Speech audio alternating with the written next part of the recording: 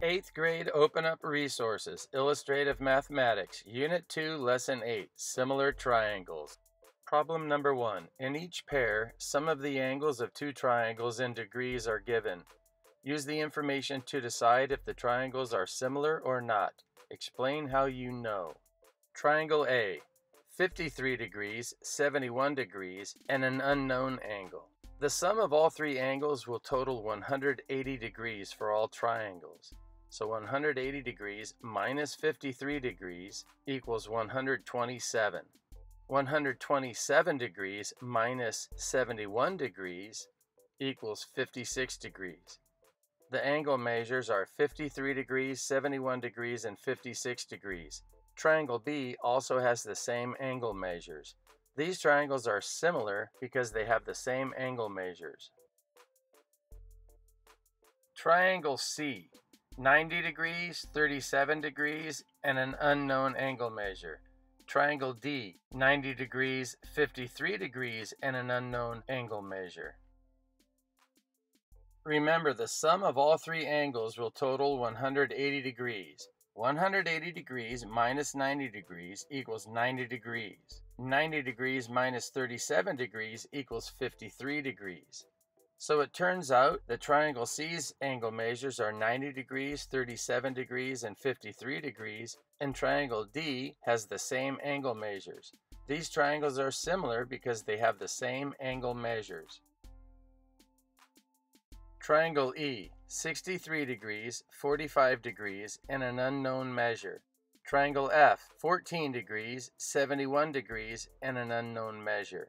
These triangles are not similar because they do not have the same angle measures. Triangle G, 121 degrees and two unknown angle measures. Triangle H, 70 degrees and two unknown angle measures. If these triangles were similar, that would mean that they would each have angle measures of 121 degrees and 70 degrees. So they're not similar because the sum of 121 and 70 is greater than 80. So it's impossible for any triangle to have angle measures 121 degrees and 70 degrees because it would total more than 180 degrees. Problem number two. A. Draw two equilateral triangles that are not congruent. The angle measures must be 60 degrees to be equilateral triangles. Equilateral triangles that are not congruent must have different side lengths. Here are two different equilateral triangles. They both are made up of 60 degree angles, and their side lengths are of different lengths, making them not congruent. B. Measure the side lengths and angles of your triangles. Are the two triangles similar? The two triangles are similar because all their angles are 60 degrees, and their side lengths are proportional. C. Do you think two equilateral triangles will be similar always, sometimes, or never? Explain your reasoning. Equilateral triangles are always similar because all equilateral triangles have equal angle measures. Problem number three. In the figure, line BC is parallel to line DE. Explain why triangle ABC is similar to triangle ADE. The two triangles are similar because they have equivalent angle measures. Problem number four from 8th grade, Unit 2, Lesson 4.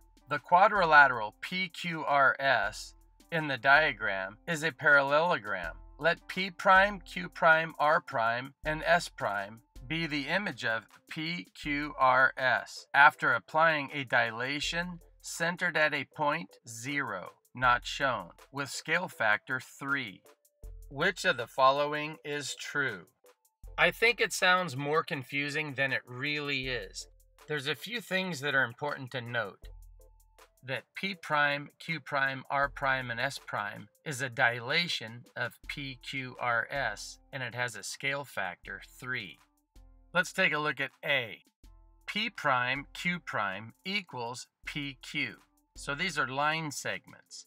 So we know that it's a scale factor of 3.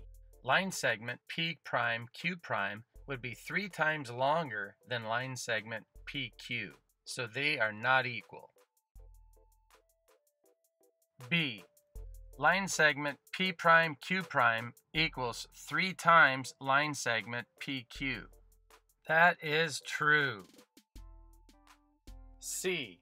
Line segment PQ equals 3 times line segment P prime Q prime. That is false. And finally, D. Cannot be determined from the information given. That's also false. They gave us enough information to determine if the statements are true. The only true statement is B.